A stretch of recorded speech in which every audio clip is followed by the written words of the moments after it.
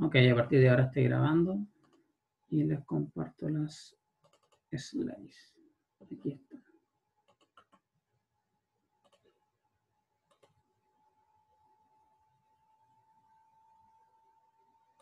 Bien. Este inicialmente era parte de la unidad 1, pero lo he movido a la unidad 2. Porque la unidad 1 ya tiene bastante contenido. Y vamos a ver eh, cómo se usan algunas de las técnicas de la, de la teoría de la información y lo que tiene que ver en relación con la entropía principalmente y con los códigos de Huffman. ¿Alguien ha ido a hablar de la entropía? ¿Tiene una intuición de qué es lo que podría ser? ¿Alguien? ¿No? Bueno, no importa. Acá lo vamos a ver. Ok. Como les decía, la entropía se usa en la teoría de la información. La teoría de la información es una disciplina eh, bastante robusta que, analiza eh, la información que se contiene, puede contener un objeto. ¿ya? Eh, y por tanto se usa mucho en compresión, compresión de datos. Aquí se, en Data Compression se usa la entropía para determinar la complejidad de comprimir un stream. Un stream, qué sé yo, una, una cadena de, de, símbolos, una cadena de bits, lo que sea. Entonces, la pregunta es, ¿qué tan complejo es comprimirlo? Y recuerdan cuando vimos cotas inferiores, cuando teníamos problemas, queríamos saber cuál era la cota inferior del problema para ver qué tan difícil era de resolver el problema. Acá es lo mismo. Eh, y bueno, por eso usamos la entropía, eh, eh, usamos alguna de las técnicas de la entropía para esto. Quiero ver qué tan difícil es comprimir un objeto. Dice, la entropía de un objeto chi es en términos amplios la mínima cantidad de bits, ¿cierto? Que se requieren para representar chi eh, desde su conjunto de origen. ¿ya? es como nosotros, por ejemplo, nosotros tenemos un root. Eh, cuántos bits necesitamos para almacenar el root de cada uno, que es único para todos. Algo así, un identificador único. Okay. Por tanto, la entropía se usa como cota inferior al espacio usado para cualquier representación comprimida de un objeto. Si ustedes quieren, eh, ahora con todo esto del Big Data, quieren proponer un nuevo algoritmo de compresión, eh, una buena opción es que si tuviesen disponible la entropía de lo que quieren comprimir, para saber a lo, a lo mejor que pueden optar. ¿Ya? ok, la entropía del peor caso. Nuevamente, suponga que eh, deseamos asignar un código a un elemento chi proveniente de un universo U. ¿Okay? La entropía nos dice cuál es la mínima cantidad de bits para asignar un código para chi en U, eh, es decir, cuántos bits se necesitan para, para asignarle un identificador, un ID, como para, en, nuestro caso el root. ¿ya? Suponga que solo es posible asignar código del mismo largo a los elementos del universo. Este es el peor caso posible porque en compresión de datos lo que se trata es, eh, se intenta es asignar códigos cortos a los elementos más probables, ¿ya? Y códigos largos a los menos probables, ¿ya? Así, cuando ustedes van, eh, tienen el sprint comprimido, ustedes van a encontrar, eh, muchos de ellos son los más probables, por supuesto, por algo se llaman los más probables, y van a ver que tienen códigos pequeños. Entonces así van logrando compresión porque si a los más probables tienen código largo, entonces en vez de comprimir, eh, se va a hacer más grande la, la, secuencia. ¿ya? Ok. Así, si todos los elementos son igualmente probables, este es el peor caso. Si todos los elementos son igualmente probables, todos tendrán código del mismo largo. Y todo requiere la misma cantidad de bits. Y en este caso, hablamos de la entropía del peor caso. Un ejemplo, son las secuencias aleatorias. ¿ya? Eh, por ejemplo, si, si el alfabeto de la A a la Z, que usted le, arrojaran un símbolo aleatorio, aleatorio siempre, con la misma probabilidad, no habría forma de comprimir eso, sino que deberían almacenar el símbolo explícito eh, siempre. No, se puede comprimir porque todos tienen la misma probabilidad. ¿ya? Eh, la entropía del peor caso de U en este caso es el logaritmo base, base 2 de, eh, de la cantidad de elementos del universo. ¿Ya? Hablamos del logaritmo en base 2 porque estamos hablando de bits. ¿Ya? Así que esto. Ok, eh, por ejemplo, eh, a ver, por ejemplo, no creo que está más adelante ese ejemplo. Sí, lo vamos a ver más adelante. Bueno, pues eh, en una secuencia de bits, por ejemplo, si ustedes tienen n bits disponibles, ¿cierto? ¿Cuántos elementos distintos se pueden representar con n bits eh, disponibles? Eso es 2 a la n. en el primer bit puede ser 0, 1, el segundo bit puede ser 0, 1, el tercero 2, 0, 1, así. 2 a la n. El logaritmo de 2 a la n es precisamente n. Es decir, la entropía es n. Porque si, si es todo igualmente probable, tú no te puedes ahorrar ningún bit, tienes que usar los n bits. Eso es lo que está diciendo. Ok, va a quedar más claro con algún ejemplo. Tenemos este, esta nuestra ecuación para la entropía de peor caso. Y, bueno, para demostrar que es así, suponga que, que usamos código de un largo menor a la entropía. Ya, un largo L que es menor. Entonces, lo que yo le decía, tenemos, tenemos eh, L bits solamente, entonces hay 2 elevado a L diferentes códigos, ¿cierto? Con L bits, 2 elevado a L, L diferentes códigos. Y esto es menor que 2 elevado a la entropía de U. ¿Ya? 2 elevado a la entropía de U, que es 2 elevado al logaritmo de U, que en este caso es la cantidad de elementos eh, que hay en el universo. Estamos diciendo que los códigos son menores que la cantidad de elementos que hay en el universo. Por tanto, eh, no habrían códigos para todos los elementos del universo. ¿Ya? Entonces, esta es una demostración acá, una forma de demostrar esto por el absurdo. Supongo que se puede con menos de, del largo de la entropía, pero no es posible. Ok, bueno, acá inclusive si, si los códigos fuesen de algo variable, aún así el código mayor debe tener eh, el largo de la entropía. ¿Ya? Ok, aquí hay ejemplo. La entropía del per caso para todas las secuencias binarias de largo n es, lo que yo le decía, logaritmo de la cantidad de elementos del universo. ¿Cuántos elementos son? 2 elevado a la n. ¿Cierto? Entonces, si yo tengo secuencias binarias de largo n y son todas igualmente probables, ya, secuencia aleatoria binaria de largo n, todas con igual probabilidad. ¿Cuántas pueden haber? Pueden haber 2 elevado a la n. El logaritmo de eso es n. Estás diciendo que mínimo tú requieres n bits para una secuencia de n bits. Es como que no te ahorras nada. No, no puedes comprimir eso. Eso es lo que está diciendo. Ahora, si no fuesen eh, secuencias binarias, sino que fuesen eh, secuencias de, caracteres, ¿ya? Secuencias de símbolos. Eh, y el universo, suponga que tiene sigma símbolos, como nuestro alfabeto, 26 letras, digamos, sigma 26. Entonces la entropía, perdón, entropía del peor caso es el logaritmo binario de sigma elevado a la n. El mismo caso acá, Acá era 2 elevado a la n porque eran solamente eh, eh, dos posibles valores en cada posición. Acá tenemos sigma posibles valores en cada posición. ¿Ya?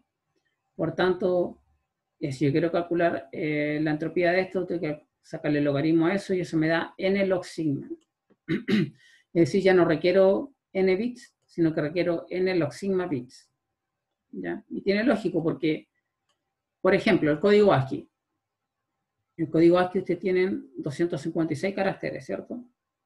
Y esos se representan con 8 bits cada uno. ¿Ya? Entonces, está diciendo que si ustedes tuvieran un, si, si, su universo fuera el código ASCII, que el sigma 256, y quieren eh, calcular la entropía a secuencias eh, de símbolos de largo n provenientes de este alfabeto, de, este código ASCII, entonces ustedes requieren los sigma bits por cada símbolo de la secuencia.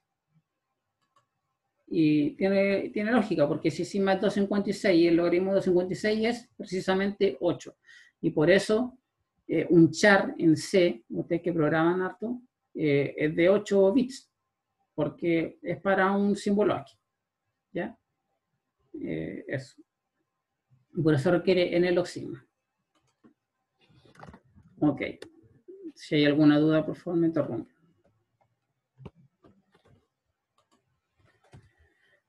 Eh, vamos a ir a, unos temas más dentro de la entropía, que son más interesantes para nosotros en la práctica. Y aquí aparece el señor Shannon, que en teoría de la información, eh, bueno, se asume que existe un origen, primero, en los estudios de Shannon, él asumió que, hay un origen infinito que emite elementos mu, mu de u con probabilidad, probabilidad de mu, ¿ya? Es decir, esa fuente siempre está emitiendo símbolos, símbolos, símbolos, eh, de forma infinita. ¿ya? Eh, pero note lo que está suponiendo Shannon, que se tiene la probabilidad, cosa que no siempre se, se, tiene, pero digamos que se tiene. ¿Ya? La probabilidad de mu. Si tengo la probabilidad del número o del símbolo, entonces yo puedo hacer algo. De hecho, compresión tiene que ver con probabilidades, como lo veíamos antes. Si fuese posible usar código de largo variable, ya, si es posible, es decir, que todos los elementos tuvieran, no tuvieran la misma probabilidad, ya, eh, ¿qué haríamos? Asignaríamos lo más corto a lo más frecuente, a los de mayor probabilidad, y el largo promedio se reduce a lo siguiente. Es la sumatoria para cada símbolo del universo, eh, de qué cosa? De la probabilidad por el largo del, código del símbolo. ¿Ya? Entonces, eh, esto obviamente es el largo promedio. Si yo asigné un código a cada símbolo, ¿ya? Por ejemplo, digamos que nuestro universo nuevamente es nuestro alfabeto. Entonces tenemos 26 símbolos ¿ya? Y a cada uno le asigno un código. L1, L2, L3 son los largos, largo del para el código 1. Y tengo además la probabilidad. Entonces yo sé que el largo promedio es esto. Y es lógico. Es un valor que va entre 0 y 1 por el largo del, código. ¿ya? Se suma todo eso y me da el largo promedio. Eh, es sumar todo lo largo y dividirlo por n, en realidad. Dividirlo por, por módulo de universo. Ok, de, esto se obtiene el resultado fundamental de Shannon, que va a ser eh, útil para nosotros. Si cada elemento mu del universo tiene probabilidad PR de mu, ¿cierto? La entropía de Shannon de la distribución de probabilidad, note que estamos hablando de una distribución de probabilidad que conocemos, ¿ya?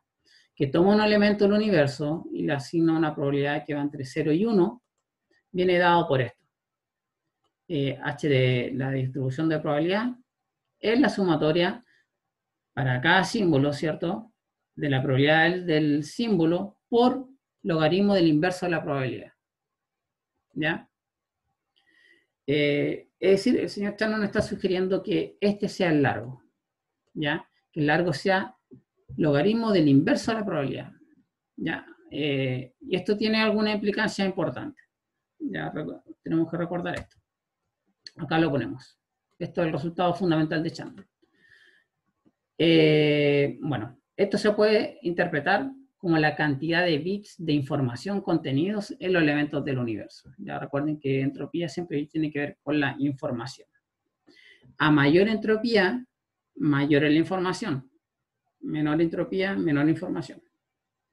Eh, así logramos que el largo del código de un elemento mu sea indirectamente proporcional a su probabilidad de ocurrencia. Es decir, si, si tengo un elemento muy probable en el alfabeto, por ejemplo, creo que la, la vocal E es la más probable, en el inglés por lo menos, entonces yo sé que su largo va a ser eh, indirectamente proporcional a su probabilidad, por esto que está acá.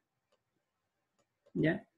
Entonces el elemento más probable, acá está la probabilidad máxima que es de la letra E, va a tener un, logaritmo más pequeño, por tanto un largo más pequeño.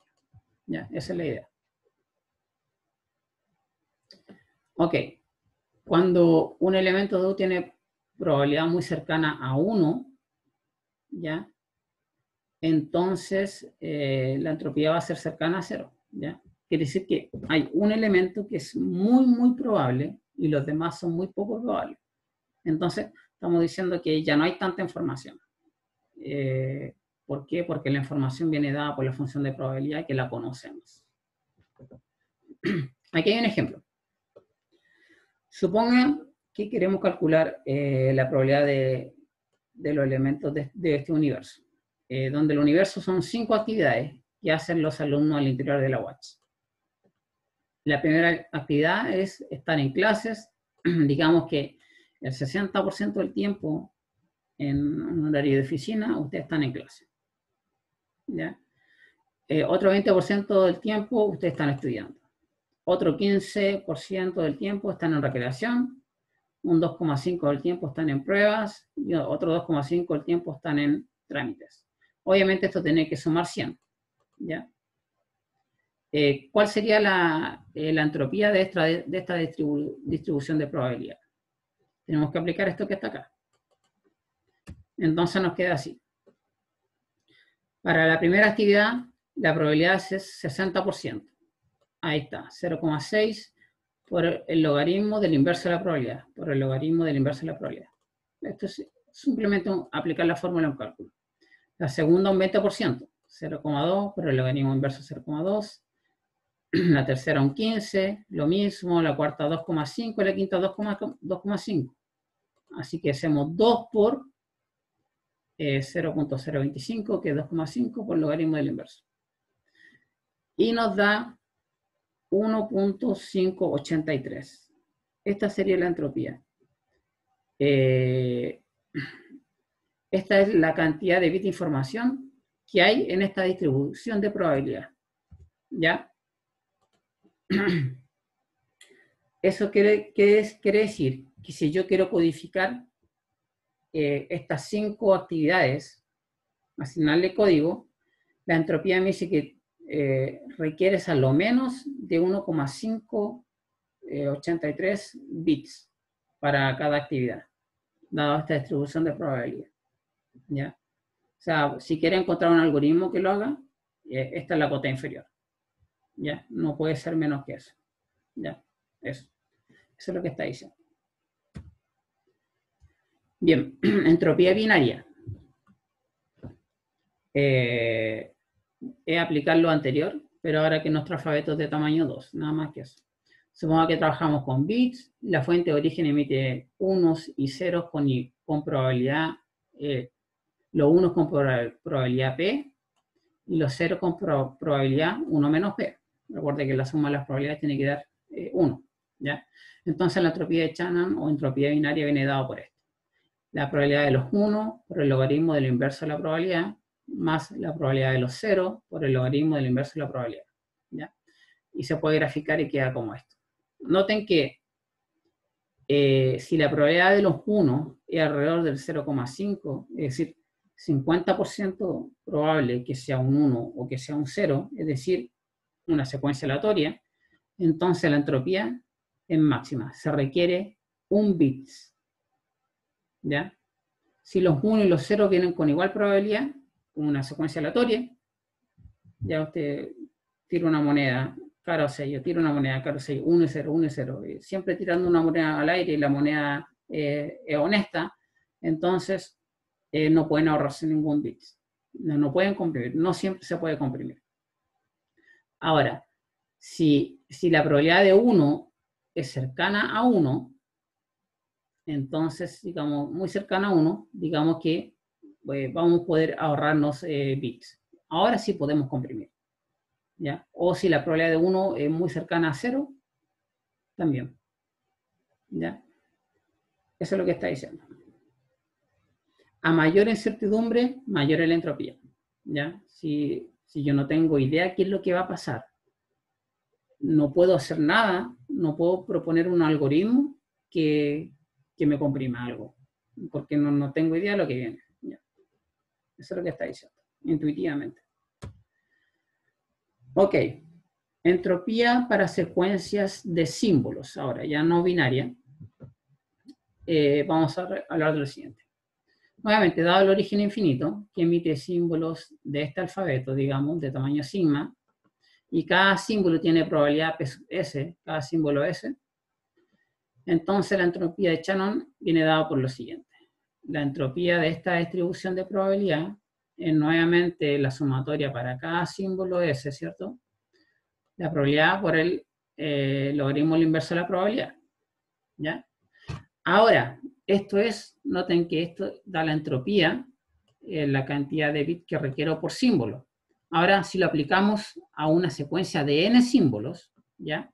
Si tengo una secuencia finita de n símbolos, y este, esto, al final esto es lo más importante, si se entendió lo anterior, esto va a ser lo más importante para, para, lo que viene.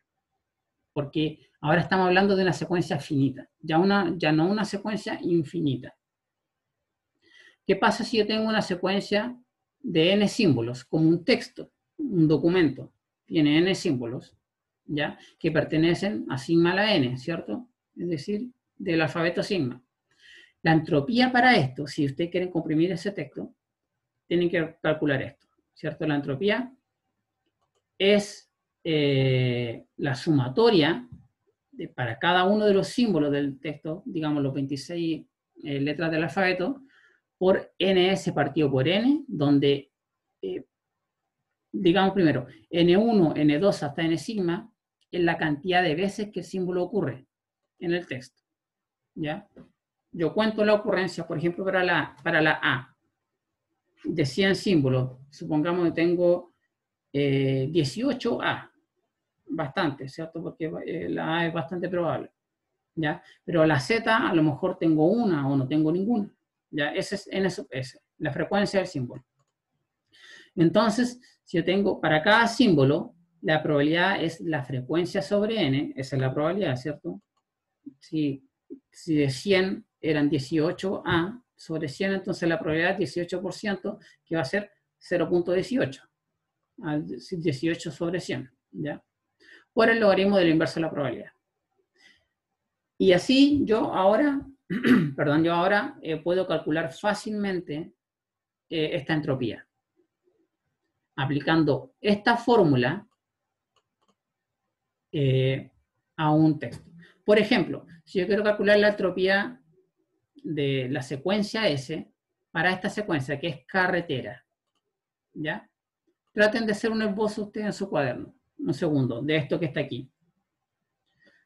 habría que eh, por ejemplo, para cada símbolo, acá tengo la A, la, la, A, la E, la C, la R y la T. Solamente son cinco eh, caracteres, ¿ya? Cinco caracteres. N, ¿cuánto vale? Es largo. 1, 2, 4, 6, 8, 9. N vale 9. NS para la C es 1, porque hay una sola C. NS para la A es 2. NS para la G es 2 también, NS para la T 1 y NS para la R es 3. Apliquen eso, hagan el esbozo de eso, por favor. Les doy un minuto. Quiero ver si se está entendiendo esto. Un minuto.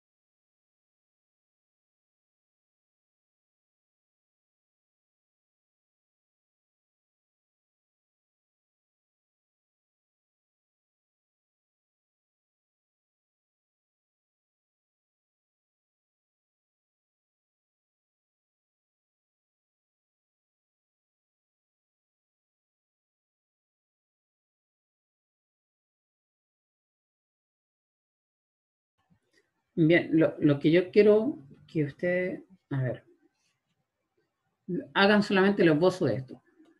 Bueno, la idea es lo siguiente. Si yo aplico esta fórmula a la secuencia S, nuevamente tengo que encontrar las probabilidades, ¿cierto? Eh, acá dice que es, para la C es 1, 1 sobre 9, para la T también es 1, 1 sobre 9. Por eso tengo 2 por 1 sobre 9, por el logaritmo del inverso de eso es 9. Hay otros dos símbolos que ocurren dos veces. Por eso tengo 2 sobre 9, 2 por 2 sobre 9, que es la A y en la E. Y hay un símbolo, perdón, y hay un símbolo que ocurre eh, tres veces, que es la R, 3 sobre 9, que es un tercio. Y eso me da alrededor de 2.197. ¿Ya? Entonces, eh, esa es la entropía para una secuencia S. Quiere decir que si yo quisiera encontrar un algoritmo que me comprima esto, yo mínimo necesito 2.197 bits para eso.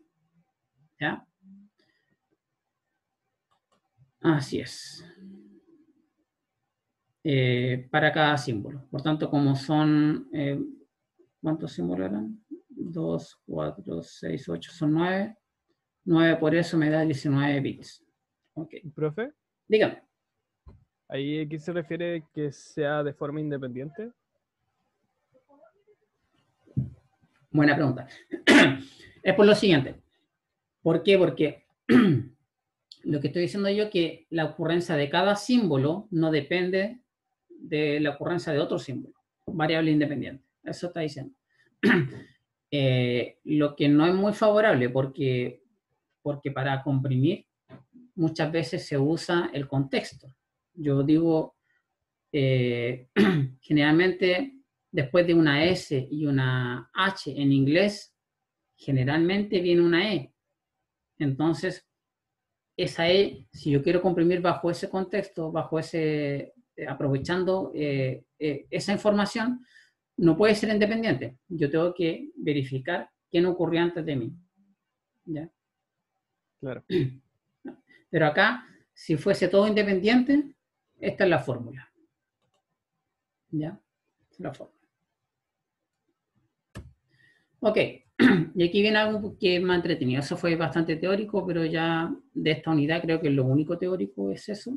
Ya no viene mucha teoría.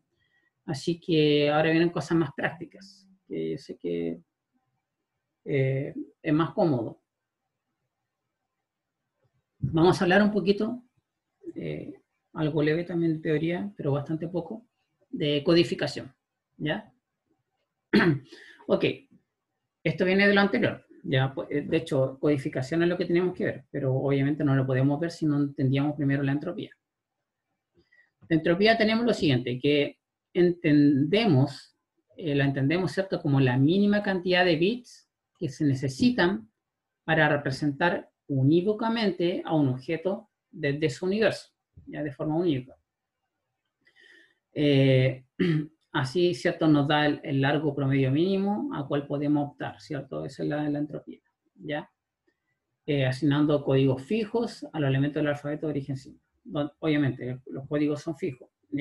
Hay sistemas de codificación que los códigos no son fijos. Eh, y eso es bastante entretenido. Y, lo vamos a ver. Hay, un algoritmo que se llama Move to From, ¿ya? que va cambiando los códigos. El código para una A no siempre va a ser, qué sé yo, 1-0. Después le poneré otro ¿No código. Como el enigma? ¿Perdón? ¿No sería como el enigma? Claro, sí, desde un punto de vista, sí. Eh, pero me refiero más que eso. En el mismo texto, supongo que yo tengo aquí un documento. Y, y un documento que tiene, está lleno de, de, símbolos que yo quiero comprimir. Entonces, aparece un símbolo chi al inicio y yo le pongo un código. A medida que voy leyendo el texto, a la mitad del documento nuevamente aparece chi y yo le asigno un código distinto. A eso me estoy refiriendo. Entonces, eso es más interesante todavía, porque no es, eh, depende de en qué parte del texto está, a, eh, al código que va a tener, no solamente de la frecuencia de las cosas que hemos estado viendo acá. ¿ya? Por eso hablo acá de códigos fijos. ¿ya?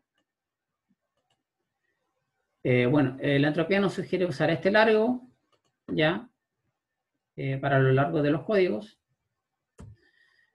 Y vamos a definir qué es lo que es un código, ¿ya? Dado los alfabetos, dados los alfabetos, vamos a tener dos, sigma, dos alfabetos. Sigma de los orígenes, ¿ya? Siempre se usa esto estándar universal. Eh, un, alfabeto, un, alfabeto, sigma eh, es un set simplemente de todos los elementos que usted tiene de su universo. ¿ya? Y tau eh, va a ser el alfabeto para los códigos. ¿ya? Como nosotros estamos con códigos binarios, vamos a asumir desde ahora en adelante que usamos solamente ceros y unos. Eso va a ser nuestro tau siempre. un código se define por la siguiente función inyectiva toma un elemento del alfabeto y le asigna una expresión regular compuesta solamente por ceros y uno. ¿Ya? ¿Por qué tiene que ser inyectiva? ¿Alguien me podría decir por qué tiene que ser inyectiva? Bueno, está la explicación acá mismo. Pero eh, veámoslo mejor. Primero, vamos a llamarle a CDA con eh, para un símbolo del alfabeto como el código de A. ¿ya? Y aquí puse, es necesaria la inyección porque si no es así, eh, no sabríamos a qué símbolo de sigma corresponde un código particular. Porque recuerde que una función inyectiva es aquella que a los elementos de la imagen, a los de la imagen, les corresponde eh, un único eh, elemento del origen, a lo más, ¿cierto? A lo más. Puede que no tengan código, pueden que haya eh, elementos de la imagen que no tengan dominio, ¿cierto? No tengan un elemento del origen, pero si que tienen, tienen que tener uno solo. Eso es inyección. Inyección. Y, y sobre inyecciones, cuando están todos los de la imagen, están, a todos les corresponde un elemento del origen. Está todo el elemento ocupado. Pero acá estamos hablando de la inyección. Eh, ok. bueno, eh, es necesaria la inyección, pero la inyección por sí sola no es suficiente para tener, eh, para la codificación, ¿ya? Y lo vamos a ver inmediatamente. ¿Por qué? Ejemplo. Supongan lo siguiente. Yo tengo que eh, solamente tres símbolos en mi alfabeto. S1, S2 y S3. A S1 yo con mi algoritmo le puse el código 0. S2 determinó que el código era 1 y S3 es el código 00. Entonces, eh, si yo tengo, alguien me dice, ya, aquí yo te tengo eh, una secuencia que tú codificaste, 0000.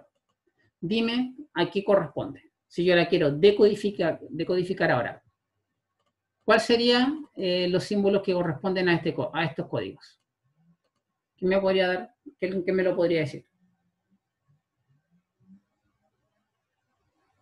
0000. ¿Qué va? S1, S2, S3, S2, S3, S1. Eso es lo que quiero que, que la decodifiquen. ¿Cómo, ¿Cómo quedaría? O sea, existen varias opciones. Ya, ¿cuál, por ejemplo? Eh, S1, S3, S1. Bien, ¿cierto? De partida, eh, tenemos puro cero acá, ¿cierto? Ya, ese 2 lo descartamos. Pero ese 1 tiene un 0 y ese, y ese 3 tiene dos 0. Entonces, acá pueden ser, como dice su compañero, ese puede ser S1, este S3 y este S1. Podría tener 4 S1, podría tener 2 S3 y, y un montón. Entonces, eh, esto eh, no es bueno, por supuesto. No es bueno porque no está siendo inyectiva.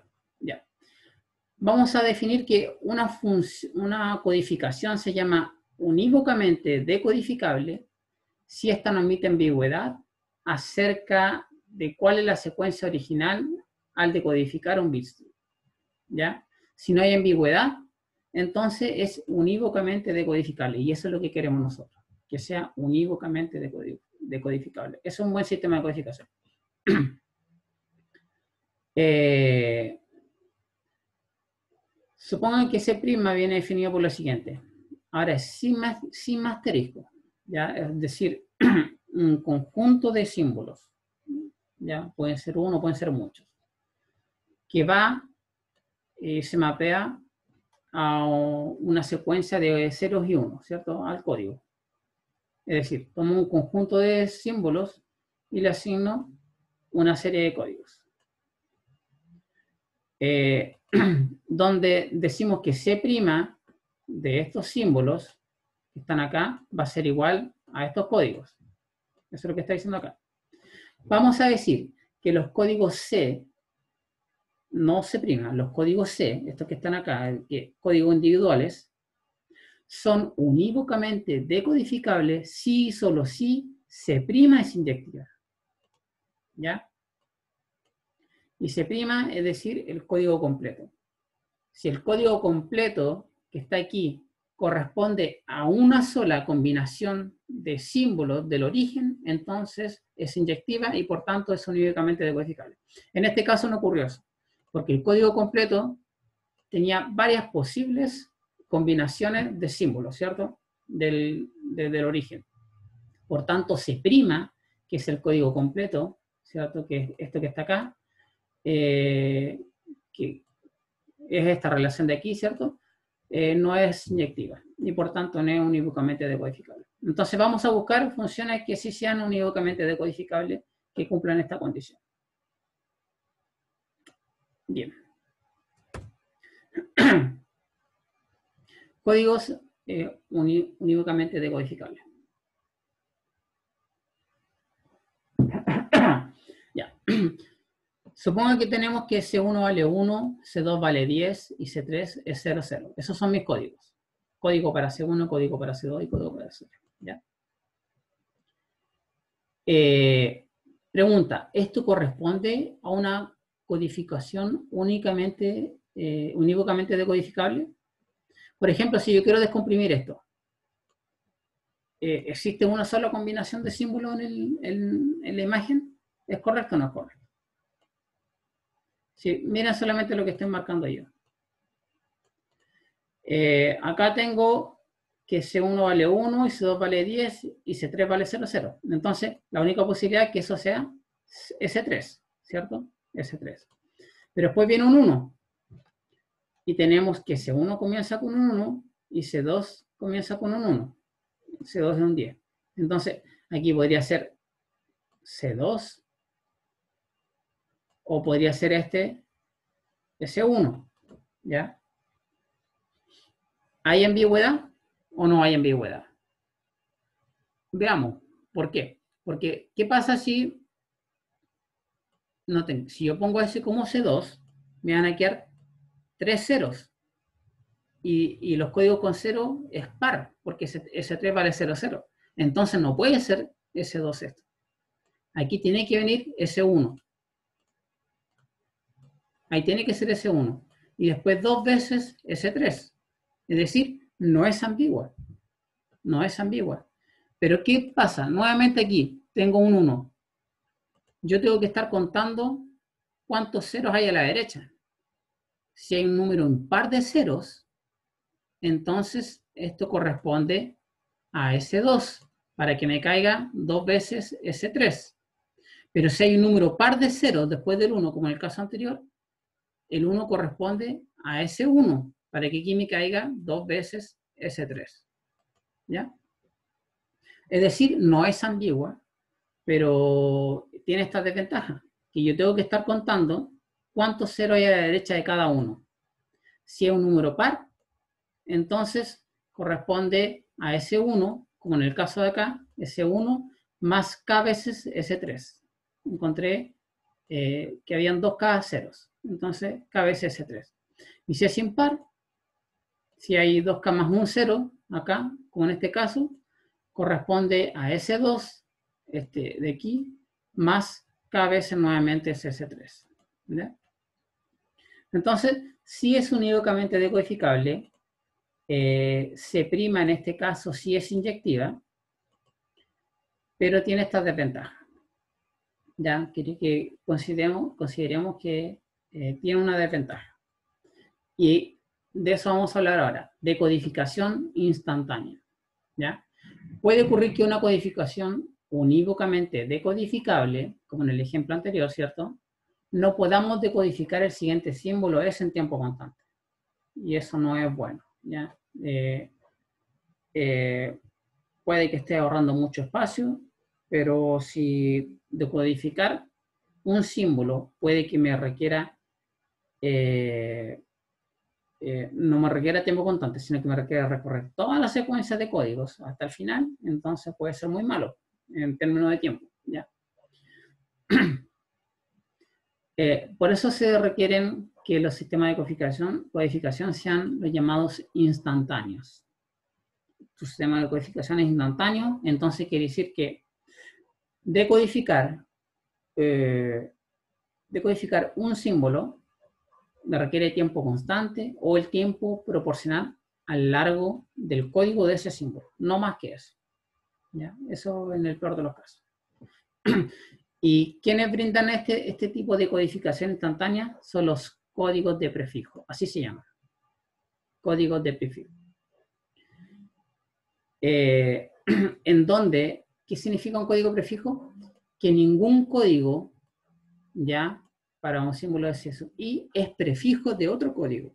Si es libre de prefijo, entonces tiene una codificación instantánea, como en el caso anterior. Mira, acá el 1 es prefijo del 10, no es codificación instantánea. Eh, es correcto, no es ambiguo, pero, pero no es instantáneo, porque hay un prefijo. Entonces, acá lo que está diciendo es que tiene que ser libre de prefijo. ¿Ya? Eso. ¿Alguna duda con la definición? ¿Está claro? Profe. Dígame. Y acá el peor caso se estaría hablando de n cuadrado, ¿no? ¿O de n cuadrado? ¿Por qué? ¿A qué se refiere? ¿Caso de eh, no con el de prefijo, sino el anterior, donde habría que revisar todo hacia adelante. Ah, claro, claro. El algoritmo sí. Sí. Ya. Sí, bien, buena acotación. Sí. El algoritmo, por supuesto. Porque puede que en el peor caso yo tenga que llegar hasta el final de la secuencia por cada símbolo, entonces en el cuadrado. Ok. Eh, código libre de prefijo. Y todo lo que hemos visto anteriormente es para llegar a esto. Los códigos libres de prefijos eh, son códigos que son únicamente decodificables y con decodificación instantánea, ¿cierto? Eh, y dijimos que era, era prefix code o libre de prefijo o código de prefijos simplemente si eh, no existe ningún código SSI, CDSI que sea prefijo de otro código. ¿Ya? ok. No todas las codificaciones son únicamente decodificables, es eh, libre de prefijo, ¿cierto? Pero sin embargo, existe un teorema que dice que toda codificación unívocamente decodificable, ¿ya? C, que no es prefix code, es decir, no es libre de prefijo, siempre existe una que es libre de prefijo que al menos es tan buena como C. Y, eso lo, lo da la teoría de la información. Y de eso nos vamos a aprovechar. Y aquí entonces el señor Shannon, con todo su estudio, dijo lo siguiente. Eh, definió los códigos de Shannon-Fanon con otro señor, ¿ya? Eh, hay varios códigos, está Shannon-Fanon, Elias Fano, y aquí le pueden sonar algunos de ustedes ya. ¿ya? Dice que este fue el primer esquema de codificación para códigos libres de prefijos, en asignar códigos de largo cercano al óptimo, ¿ya? Es cercano al óptimo. Ya recuerden que el óptimo es la entropía. ¿ya? La entropía nos, da, eh, nos dice, nos sugiere que logaritmo de 1 por el inverso de la probabilidad de S es el largo óptimo para un código largo S. ¿ya? Shannon-Fanon asegura el techo de esto para sus códigos. ¿ya? Eh, lo que no se ve para nada mal. De hecho, por eso es cercano al óptimo. Está asegurando esto. ¿Ya? Eh, bien. Dice que Shannon Fanon ofrece código de largo promedio L, rayita, pongámosle, menor a un bit por sobre la entropía. ¿Ya? ¿Qué es eso? Esto, esto es lo que hace Shannon Fanon, ¿cierto? Este es el largo de Shannon Fanon, que el techo de eso, que es menor a esto que está ahí, ¿cierto? Ese techo es menor que esta suma. Y eso es igual a la entropía más 1, ¿ya? Porque recuerden que la entropía es esta probabilidad por este logaritmo, la sumatoria, es la entropía. Entonces, ¿por qué da más, más 1? Si aquí el más 1 está dentro del paréntesis y está multiplicado por la probabilidad dentro de la sumatoria. Uno podría decir, oye, pero a simple vista eh, quizás es S, pues no es 1, es más S. O, el, eh, perdón, más el, módulo de sigma, que sería sigma. Pero no es así porque esto es una probabilidad, es un número entre 0 y 1. Por tanto, como la suma de las probabilidades tiene que dar 1, entonces la sumatoria de estas probabilidades por 1 tiene que dar 1 también, por supuesto, ¿cierto? Eso es lo que está diciendo. Si hago 0,2 eh, por 1 más 0,3 por 1 más 0,5 por 1, me da 1, porque está distribuido en, probabilidades. ¿ya? Entonces, esto es lo que asegura el señor eh, Shannon, Shannon-Fanon en este caso, el algoritmo fue entre ellos dos, que por cada código a lo más vas a perder un bit. ¿Ya? Eh, estás un, bit por sobre el óptimo en el peor caso. Ok, este es el algoritmo. Eh, dice que, bueno, por supuesto, eh, con esto vamos a terminar, no se obviamente estamos en el caso de que tenemos las probabilidades, ¿ya? Siempre en ese caso, si no tenemos las probabilidades no podemos hacer nada. Y por eso es importante probabilidad en este curso, porque no solamente entra en este caso, sino que después en la unidad 4 van a ver algoritmos probabilísticos. Tienen que manejarse. ok. Entonces tengo mis sigma símbolos, ¿ya? Eh, ordenados descendentemente por su probabilidad de ocurrencia, ¿ya? Recuerden que para un texto de largo n, ¿cómo saco la probabilidad? Contando la frecuencia, ¿ya? Y dividiéndolo por el lado. Entonces, eh, tengo los, eh, los símbolos y los divido o los agrupo en dos subconjuntos, los cuales suman igual probabilidad conjunta, ¿ya? Pero sin, sin mezclar el orden inicial que tenía. Tengo un orden, vamos a ver un ejemplo. Tengo un orden descendente, lo ordeno descendentemente, y hago una partición en alguna parte, tiro una línea. Y digo, la suma de las probabilidades del grupo de arriba es, es igual o lo más cercana posible a la suma de las probabilidades del grupo de abajo. ¿ya? Eh, a los códigos del primer, subconjunto le voy a añadir, añadir un 1 y un 0 a los códigos de los que están abajo. Y recursivamente vamos iterando en esto eh, hasta que no queden más símbolos. Aquí hay que quedar claro, miren. Supongan que tengo eh, siete símbolos, ¿ya? La secuencia puede ser de largo mil, de largo millón, de lo que sea, pero solamente hay siete símbolos distintos, ¿ya?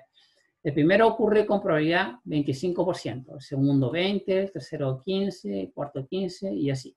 Si usted suma las probabilidades, obviamente tiene que darles uno, ¿ya? Un principio.